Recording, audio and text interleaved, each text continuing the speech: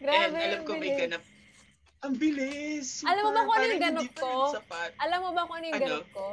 Wala, magkukumo din ako. After this, ako sa yeah. ku- Yeah, first live ko after paglabas. Yeah, So, you should go. You should live Lex. You should live. Have you? Have you na ba, kids? Did you live na? Yeah, I've done like two already. I've done two. Really? Oh, All I I'm can so say, like, So, scared. nahuli ka na. I know, Masasabi I'm ko so lang, scared kasi. mag just get ready for, because I bet, uh, sa akin, ang dami na nag-drop, which I'm thankful for. So, paano pa kaya kung ikaw? I'm not expecting. I'm not expecting anything. I just want to have fun and have my own mini concert again. I'm gonna... Oh my God. Request... Uh, pwede ba mag-request? Pwede, basta manood ka, Yeah, i-comment mo. Sige, magko-comment ako mamaya. Pero sabihin ko na sa iyo request ko ngayon. Please wag The yung all too from- well 10 minutes. Please No. wag yun. Okay. No, no. The, the one from Folklore. Ah, sige, game, game, game, game. And The one from been Folklore. Fun if you could have been the one. Could have been the one. Game. That's that's the one folklore song that always makes me cry. Really? Oo. Sige, sige, sige, sige. Sulat I ko yan. chop, Saglit. chop. The one. The Kasi one. May na may naaalala ako. Jan, and I think alam mo naman kung sino. Alam mo naman! Oh, You know. I need to, oh, remind me. D DM me na lang if, ma- if DM me na lang. Because I have the worst You know- memory ever. you, you know all my stories, di ba? I know. Ayan. Ba't nawala na naman si KD? No? No? Nag-aayos yata ng buhok. Ayun. Last question ko for you guys. Ah, ikaw muna Guys, sumagot habang... choppy or is it, uh, No, you're not. No you're naman. fine. You're good. It's me. You're fine. Ayun. So, last quest, mga last couple of questions ko for you guys. If there's one thing you want to say to the KD Lex sweethearts, what Hello? a name na Okay na. sweethearts. Okay. Sobrang cute. Kids. What would that there? be? Yes, I'm here. Okay, okay. Me, me first. Why Yeah, are you not kita? We can see your face and please change your Kumu profile picture. Thank you. Bakit? Anong weird? Kahubad eh. There you go. Oh yeah, Oh, I can. nakakadamit Yeah, we ka. can have that. Okay. Um, what do I want Someone to say edit, to please. KD? what do I want to say to KD Lex? Um, I just want to say that I admire them so much because they are they are what we call them sweethearts. They are such sweethearts. They're so nice, and every day on Twitter I see how they really remind each other to to stay nice, to not ever bash another uh, person, another ship, to respect. Um, always, always respect, which is really, really great. Um, and they really are sweethearts. So I just, I'm, I'm so proud of them. I'm so proud that they are my supporters. It's really nice to have supporters like that who know how to respect others while supporting their own ship. So I love them. KD Lex, thank you guys. Kids, Thank you guys. For me, uh, KD Lex, thank you guys talaga sa support nyo talaga. Uh, you guys have, you guys have been there since me and Lex, I, I believe when me and Lex were really close talaga. I'm assuming, but thank you guys so much talaga sa support ninyo talaga. I cannot express how thankful I am for each and every single one of you. Sa Twitter, nakakatawa kayong tignan. Kasi, uh, nakakataba ng puso. Kasi, like, the support talaga that you have for me and Lex, uh, it's just, it's just crazy.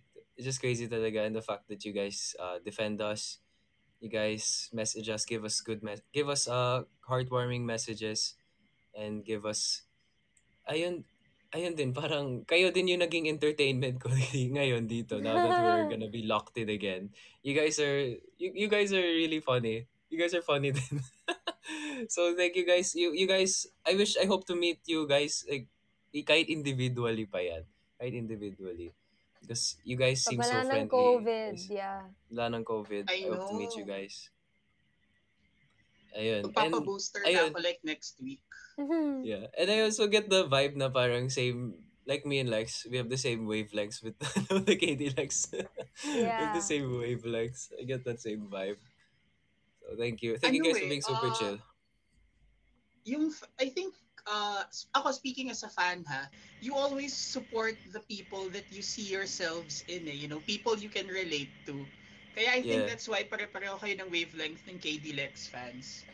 Yeah. Okay. is there is there anything na dapat abangan sa inyong dalawa? Like individually or together? Do you have any upcoming gigs or KD Ah. you're, you're you, you have a show, right? Upcoming, Yeah, I do have a think. show. Tama ba? Yes, I, I do have a show upcoming, uh, starring Francine and uh, Akira from BGYO. Ayun, the title is Bola Bola. So we're gonna start taping soup really, really soon, as in really soon. So I'm gonna be locked in again, but I will have my phone, so don't worry, I won't be inactive. Like unlike unlike unlike sa PBB, wala ko talagang phone. Yeah. But ayun, abangan nyo guys. Ito yung second acting project ko and I'm thankful that I got this project and I hope that it opens more doors to more opportunities. Sana. Kung magal yung kung Of okay yung course. acting ko. sana okay yung acting ko. I will do my best talaga since I'm acting with Francine, Albi, grabe. Albi! And yeah, Albi's there. I'm with Kuya. Al- Kuya mo, Oh Albi. my God! That's so awesome! Kuya mo, Albi. That's so awesome!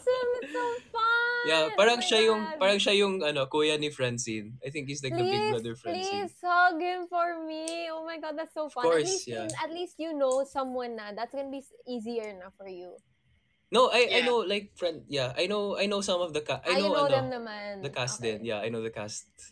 Pero ayun, but ayun, together me me and Lex uh, wala pa kaming project together. But I will say this, we're gonna make so many songs. Ang dami na namin, ang dami namin gagawin na songs. If you guys Yeah. if you guys watched us talaga inside the exciting. house making songs and like I, siguro mas marami pa magagawa namin dito since we're out and we have more creative ano, freedom. Yeah. And finally, masusulat nyo na. Like, you can write stuff Sulat na. down. I just want to say And that actually write stuff down. sumusulat ako sa loob when I get the chance. Yeah. sorry, She kuya. she it's one of the biggest violations in the house and then she I does it know. anyway. For Because the I for have the craft. the worst memory kasi nga with all the gamot na I'm taking. So I really eh pag Yeah. namimigay si kuya Same. ng papel tsaka ballpen, pasimple na ako it. nung susulat. Yeah, I'm just like I need it. And so Just now I have it, like a whole Alam mo, folder.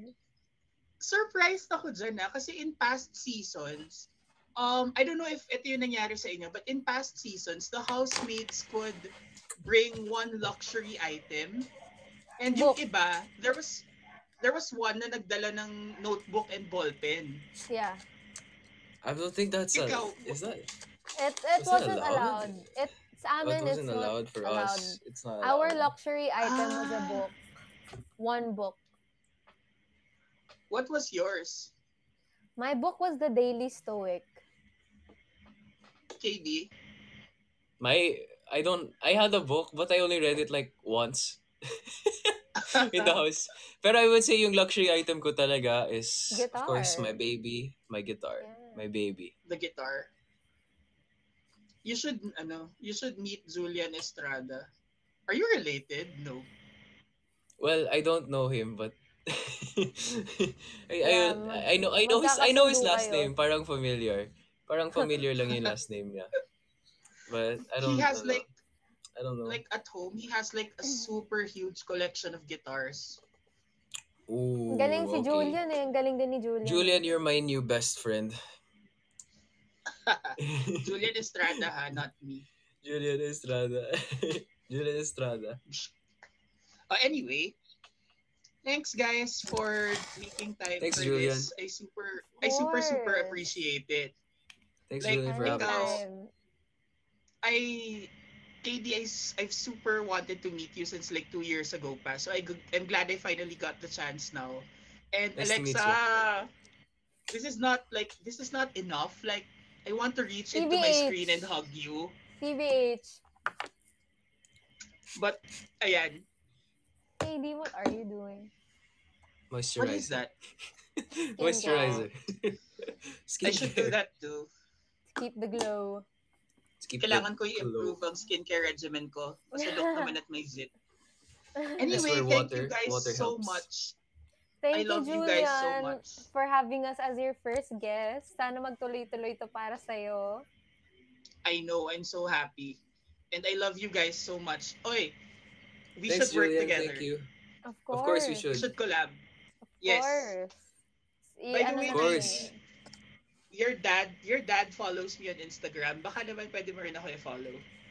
Oh yeah, okay. Sorry, sorry about that. Sige, sige, sige. No, joke lang. Okay lang. Sige, see you guys. Bye! See you, guys. Julian. I'm, Thank you. Guys, I'm gonna go live right now on Kumu. So, Go, Lex. see ya.